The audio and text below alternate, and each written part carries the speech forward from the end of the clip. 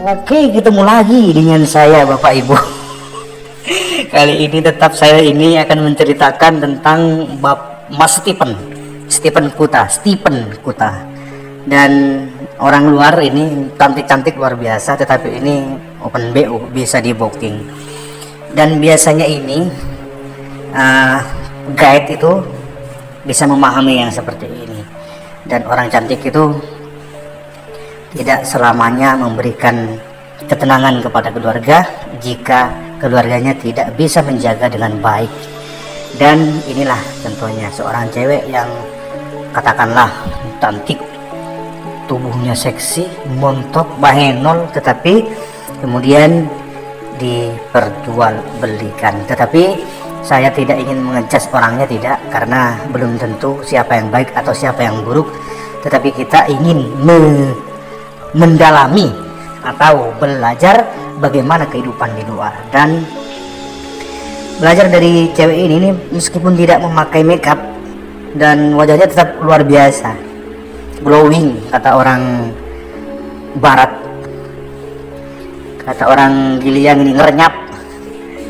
Dan biasanya yang paling banyak memahami hal semacam ini ini Mas Stephen ini. Karena dia seorang guide yang profesional yang banyak menggait orang-orang luar negeri dan mancanegara bahkan lokal pun ada. Karena kemarin saya juga ketemu di sini di di rumah bersama Bapak Steve. Dan ini ini di sampingnya ini Mas Steve ini.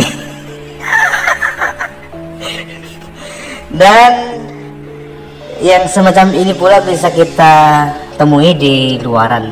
Dan kita harus mempunyai taming atau uh, pondas yang kuat biar tidak terjerumus kepada hal-hal semacam ini.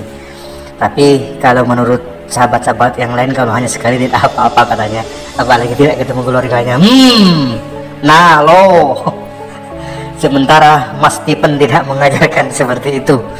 Dia hanya mengantar orang-orang mancanegara untuk berjalan dan berwisata dan si cantik ini kemudian dibawa oleh seseorang dan ya makan lah dibeliin makanan sama kue yang mahal-mahal dan sudah dijotos nanti.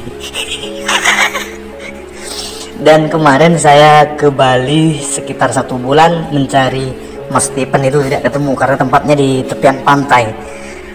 Dan makan-makan seperti ini dulu Mas Stephen dan ini perlu dipelajari ini kehidupannya. Karena Mas Stephen ini orangnya baik sering mengantarkan orang-orang luar agar tidak nyasar di jalanan. Dan ini adalah pekerjaan mulia sekali. Dan semoga Mas Tip Mas Stephen Kuta atau Bapak Joko semoga sehat selalu dia adalah sahabat saya yang terbaik dan cukup dibeliin makanan yang ketawa-ketawa namanya juga orang apa ya ya open BO lah begitu. Tapi yang saya pikir di benak saya itu wajahnya cantik badannya sispek atau bodinya montok luar biasa yang belum nyampe di akal saya itu kok gini ya kok dijual begitu kan? Nah setelah masuk seperti ini lalu diapain saja ini boleh bahkan di geng juga boleh.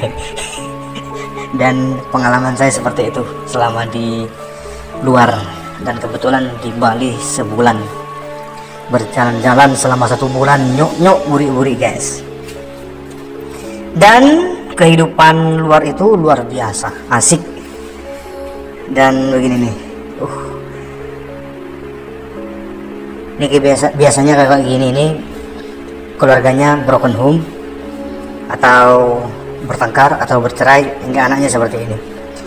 Yang kedua bisa karena tuntutan ya ekonomi. Yang ketiga yang luar biasa kalau satu jam tidak seperti ini sakit kepala. Oke terima kasih. Jaga anak-anak kita oke